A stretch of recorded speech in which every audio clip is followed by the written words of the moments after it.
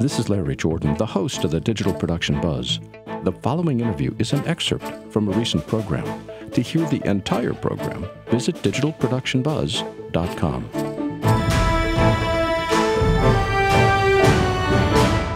Cohen is a songwriter and composer with over 30 years' experience writing, arranging, and recording original music. Ian's an avid recording artist, working comfortably in several genres and currently recording tracks with touring artists Mick Mahan and Tony Pia. Tonight he talks about what it takes to write songs and compose music. Ian, it's a delight to have you with us. Thanks for being here. Thank you very much for having me. What inspired you to start playing music all those many years ago? Well, way back when, when I was about four or five, um, my dad had this huge record collection uh, Django, Dave Brubeck, uh, classical, uh, all the different genres, the Beatles, all the pop artists. And I literally, every day after school, come home, put my headphones on, and spent hours and hours listening to all these great musicians and artists and songwriters. And so when I was you know that went on for four, three or four years, and um, I remember distinctively. I got also pretty inspired by John Denver. It's kind of funny, a funny story, but I was uh, listening to a lot of different artists, and we my, my, parents were kind of on the B plan with the you know lower middle class. So we we did they whenever I wanted to get something for a holiday, like I wanted my big wheel, never got that. I wanted my racetrack, never got that.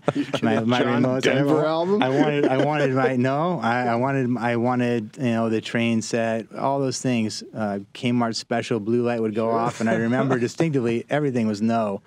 But then we were walking through the mall in Chicago or in Schaumburg, and I looked up on the wall in Musicland, and I saw a guitar, and I just kind of pointed in there. I said, "Can I get a guitar?" And they they drug me right in there. Wow. They drug me right in there, and it was like a forty dollar cheap guitar, and that's when I started. Got, Electric or acoustic? Acoustic, okay. and I well, got. You were you were doing more than playing music. If I remember, when you were sixteen, you were inventing as well. What did you invent? Yeah, um, yeah. As I progressed, I want I really wanted to um, I was really focused on innovation and writing my own book. So I, I, didn't I didn't want to emulate. I didn't want to cop other people's riffs. It was very important to me to actually be an original artist.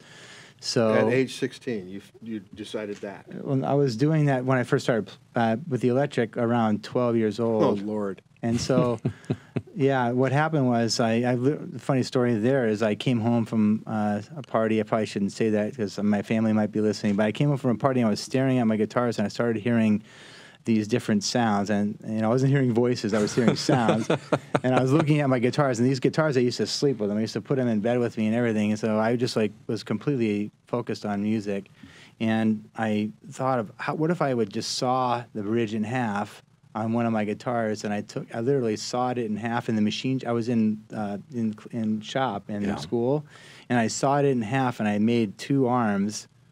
That's that was the original idea, and my my mom actually worked as a patent legal secretary for Hewlett Packard and Xerox, and at Xerox, uh, Xerox PARC, when I was 13. I played on the Alto computer. I was like right there in the middle of all this innovation. I, I, can't. First of all, I can't picture this. I mean, two arms. We were still talking to six string, six strings. Yeah, yeah. I took an electric not 12 guitar. Strings, just not 12 strings, six screens with two six. arms. Right, and you. So then you could control. So what the object was is that if you're playing a song, you know, everybody was always using it for all this crazy pyrotechnic guitar stuff, and mm-hmm. I wanted to kind of have a a way to be able to incorporate it in songs to subtly put it in there so I wouldn't it was more the uh, instead of being completely a lead type of accent or um, color you yeah. you wanted to actually use it within your songwriting uh, so what when I went to um, the I had the idea and I drew a picture of it and did the prototype and then um, I met the patent legal guys, the ma- the major um, attorneys that also had science science and eng- science engineering degrees,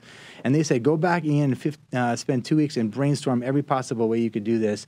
And I came back with non-adjacent strings. I could divide up all the strings. I could be for any string instrument. I could selectively selectively control separate sets of strings simultaneously. So that was my invention, and I built prototypes, and I still to this day actually I prefer, my original idea, which is just to have the two arms And so, yeah, that's kind of how that idea happened. And I wrote the patent. I did all the drawings. I had drafting in high school, so I was also very much involved in that. And so I was able to do all my drawings. The only thing that the attorney did was write the claims, filed it, and in 1993, patent issued. Um, got and so Mike, I don't want to make you feel bad, but he was 16 when that happened. Yeah, happened. this was like Mozart doing stuff at five. You know? well, well, no, I don't know. We, the idea, the first time I thought of it was 16. It I filed the non-disclosure, so that way you do, you do drawings. It's not a formal patent, but what it does is if there's an interference in the patent office, then it leapfrogs whoever filed. So that, but but but by the time I had written, the, I wrote the patent probably when I was about 18.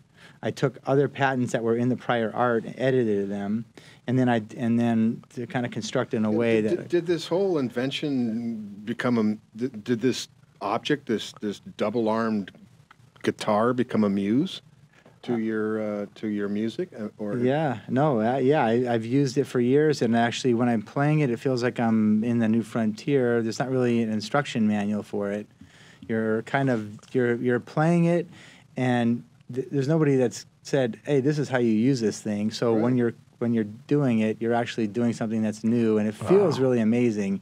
So, you know, but p- problem, you know, is is that um, people don't, don't really ad, ad, adapt new ideas quickly or innovations. They uh, there's a cycle, and so people are really focusing on traditional ideas, and so innovators and people that come up with new things are not really always taken seriously, which isn't Yeah. what happened with my case. Well, And let's so- let's shift gears and talk Anyway. about your music because otherwise, Mike, Mike, as we know, is a deep lover of technology, and nothing except blinking lights gets his attention, which is just not true at all. There's nothing happening here. Tell me about your songwriting process. How do you go about? Because you've you've written songs, you've scored films, and you've scored commercials. So let's start with songs. Do you start with the words? Do you start with the music, or does it all just appear full blown in your head? Uh, usually, what happens is you're um, I'm playing chords. I, have something that's ins- actually. Go, let's go back. It usually starts with something that's affected you emotionally, something that's happened in your life that causes you to say, you know, this has really affected me intensely, and it just you express yourself, or it's almost like therapy. You you start to think about what happened, and so the only way to really get it out is just to start to to throw it out. And the story happens simultaneously with the, you're usually i'm playing acoustic guitar and the lyrics are flowing almost in an improv manner. So everything is coming out. And then i'm recording everything all the time. I've been recording everything since i was 14 when i learned about So you're not recording. taking notes; you're just doing a recording. I'm usually doing recording unless I'm not near a recording device. Then, then I'll actually try. I'll I'll have to work the part over and over until I remember it, and and I'll write it down really fast. But when the the, the seeds or song seeds happen, they happen really quickly, and they're a fleeting moment. So. If they're not recorded, it's hard to recapture them or remember the melody and remember how it happened. So it's generally um, starting off with acoustic guitar could be any uh, sitting sitting you know in any location on the beach like when I lived in Hawaii or I, uh, just any, anything that strikes you or you had a, a heartbreak in your life or you had something really positive happen in your life and then you ended up starting to write about it and the lyrics flow and then you start to evolve the song. So it doesn't always you know the song isn't always pure. Usually it's not pure you know it's not a, a solid song, you're throwing a lot of ideas around. So you got to kind of pick through and find them, and then the song kind of evolves. So You always give yourself, even when you were 12 years old, you were talking about, I, I want to be completely different. I don't want to have the same riffs. I don't want to have the same chords. That's really, really hard to do, and that's putting a lot of pressure on yourself to come up with that organic thing that's that's happening, whether it be that heartbreak or whatever. You're saying it's got to be completely different. I mean, how does Right. that stop you from being creative, well, or the- does it stop you from being Well, the, this is the problem: is that there's a lot of adversity when, um, from my standpoint in your life when people all want you to play cover music. So they want to play the popular music. So well, you got to pay the bills too. so- Right, you got to pay the bills. You know, you or I mean, in my case, I've had a day job like a lot of musicians Yeah. have had day jobs, and they they build up whatever career they might have around it. But you you know, the core is that you you have um, you know.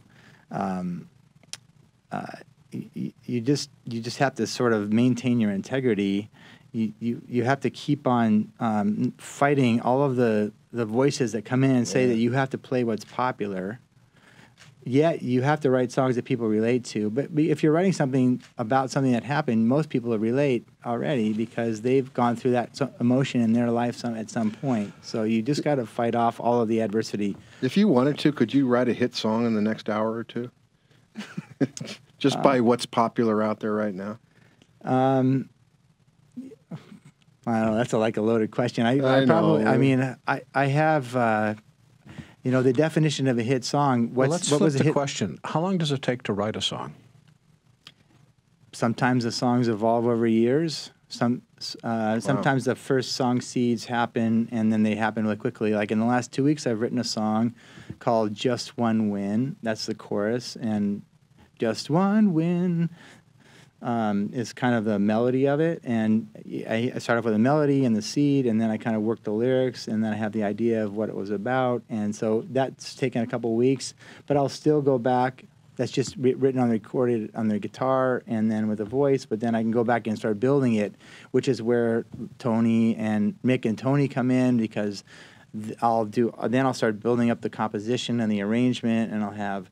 Uh, I'll lay the bass lines and I'll do drum loops to, with with the different parts and changes. But then there's no substitute for a guy like Tony Pia, who is top-notch touring professional with Doobie Brothers and records with and is with Brian Setzer and all kinds of other people, or Mick Mahan, who tours with. Uh, Pat Benatar, who these are these are friends of mine, and so when they come off their tours, I have this battery of material. So Cool. th- there's so the question is, how long does it take to write a hit song? You know, I don't have a hit song. I think in my repertoire, I might. I don't know. It's hard to predict. You, you can't really judge for yourself what is going to be a hit. Sure. It, people, most people don't know, and people that write contrived in a way that's contrived that's going to be i'm going to write a hit that i don't think that that's really the right way to do it i think it just has to be from the heart and if it Oh. happens to strike a chord Do you note- like what's popular right now? uh, sure. Yeah. I mean, I th- there's there's a lot of um, material out there that's phenomenal. You listen to the songwriting, the me- the melodies, the lyricism. It's phenomenal. So yeah, I do. Um, I'm talking about what's popular on the radio. yeah. No, I I think um, some of it I like, some of it I don't. cri- critically popular. No, some of it I, I- I some of it I I'm, I'm trying to be open minded. So some of it I like, some of it I don't. Some of it I think might be a little overproduced. Uh, s but you know, some of it I think is really raw. Something that's things that strike me, and what I'm looking for is what I'm listening to is an emotional movement. But that's so. true for songwriting. Is it also true for the films that you compose? Is there a difference between composing for a film and composing for a song? Because the song is built on an emotional hook. Is Right. there still storytelling with film composition sure. as well? Yeah. So so with the film is it is different because you have to also there's hits there's parts in the um, in each segment of film that you have to score to in a way. There's a vibe to it and you have to capture you have to look at the film each cue and look at the way that the vibe of that is. And if it, it's a certain emotion that's trying to be portrayed if it's comedy or if it's drama or if it's whatever it is you have to really um, try to key into the emotional effect. So as a let's just say we're just people that go watch a movie and what moves you or what causes you to react. So that's so when you're when you're composing you're kind of looking you're kind of connecting you're trying to connect with the film in a way and that's seen in a way that is is is heartfelt and that the people um, that are watching it are drawn in more to it and just are it's a whole movement. So when i watch a movie sometimes i'll get the chills or you know that whole with quit chicken skin or whatever that i call it the chill factor that that's kind of the art of the film composing how do you are able to um, match the music for whatever the scene is. And with the advertising, it's a, a, a little bit different thing too because it has to be more subtle. It can't be overpowering. Sometimes the music in a film could be maybe a little bit of course, more you got 30 predominant. seconds to get that through. That's the other thing, right? Thirty seconds, and actually, writing thirty seconds of music is is extremely difficult Yeah. because it has to have an extreme uh, build up and end and stop at a certain point, and there could be a lot of things happening within that whole thing. So when I do stuff, it's usually on it's on uh, spec most of the time, where somebody sends I add the film and then I, I score to it, and and I, will give you an example. There's an on my website. I have a sample where there's a um, an Exxon commercial, and in there it was I was watching it. It was there's they're talking about chemistry and Ex, and Exxon and uh, how they're trying to affect the environment in a positive manner. And so I'm watching those little cells run across the screen, and I'm thinking, how am I going to get that to sound chemical, and how am I going to get it to sound like something that would, you would find in the lab? And or another one was a Betty White one where it's a Snickers commercial and she's running around. And It's got to be comical and there's talk about opposite ends of the spectrum. Or, or yeah, Exxon, so, Betty White. Or yeah, I mean, yeah, and then there, there's one. I, there's an iPod uh, on my site too. There's an iPod uh, one where you look at the screen and there's a dance troupe on there. So you got to come up with a groove. You got to walk at this, look at the screen, and then you and there's no music, and you look at it and you say, okay. Anyway, how am I going to do that? So we got, we, we got to get to this question. Caesar's Caesar, asking yeah. on our live chat, what music software you use? How do you compose? Um, I use a combination of several different programs. I use Sibelius.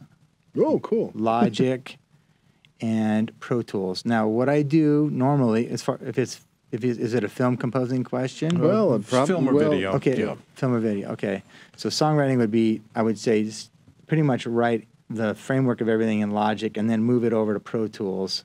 Right. For the mix. What I would do. Yeah. Right, for the mm-hmm. mixing and and also the power of the the plugins, uh, the the different things that I use, there's there, and and other things in there, the the sound samples. But as far as composing goes, um, I, I, I can I link up um, Sibelius with Logic, where they're integrated, or I can export a MIDI file you've composed it, you've, you've taken the instruments, let's say you have 10 pieces or 12 pieces, and you've orchestrated the whole thing. And, and then what I do is I bring the MIDI file in and voice it in, I use all of the sound mm-hmm. samples in Logic to voice it for because the instruments that are in Sibelius are crappy. I mean, I, I hope. So you're using Sibelius to capture the MIDI, and then you're doing the voicing and the texturing uh, well, to and score logic. it. So if you look at if you look in Sibelius, you'll you'll have all the staves. You'll be able to bring in. You, you can call that you know the number of in, you know, whatever instruments you want: violin, cello, violin, flute. You, there's a myriad percussion, yeah. timpani. I mean, every instrument known to man is in there. And then what you do is, as you're if you're scoring, you have the film. You can open it up inside Sibelius, and then you're you first you start to grunt and make you know you're looking at the film and you're just trying to figure out how how you just make all kinds of noises and you just try to figure out how to actually capture it you know your interpretation of it and then you put hits in. You can also change the tempo in there. So let's say part of the score part let's say it's a one minute cue. In there, you can have one 120, you know, 120 beats per minute. You can even have a different key signature, different time mm. signature, di- di- different time signature, yeah. different key, uh, and and what you do is then you can all of a sudden have it shift to a different tempo, different time signature, and because if it changes in the scene, then you want to try to you're trying to shift around. But then I think that's cheating. Well, here's you just, you just be quiet. But let me give you an example, though. But, listen to your music. But, but, let me give you an example of something, though. So, but really, the the real, um, uh, you know, phenomenal thing about Sibelius is then you can print out all the sh- the sheet music. Oh gosh! and you give it no, but then you have an orchestra. Sure and you bring it in there. And I've done this several times. And you take they you t- each you've instrument got the has, score. You've got the score. Each instrument, each each uh, player takes it, and everybody and you you get up and conduct it or do whatever, and they're all playing it. So Think what Leonard Bernstein could have done with that in the fifties. right. Speaking, no, we only got like thirty seconds, but okay. quickly, uh, you're a longtime Logic user, and that, this is what I always tools. ask Logic people. Uh, do you hate Logic 10 or like it?